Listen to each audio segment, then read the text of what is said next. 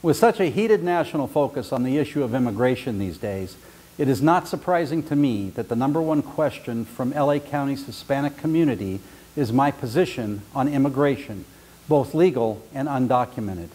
I'm pleased to tell you that my position is simple. I care not of your immigration status, as this is not my scope of enforcement. What I deeply care for is the safety of all residents of LA County, regardless of their status.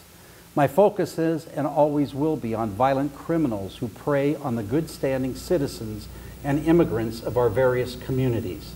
I seek the support and trust of everyone in LA County who wishes for safer streets, peaceful communities, and a sheriff who enforces the law with compassion and fairness. Remember, I cannot do this alone, but together we can achieve anything. So let's do this together. My name is Bob Lindsey and I'm running for Los Angeles County Sheriff. Thank you.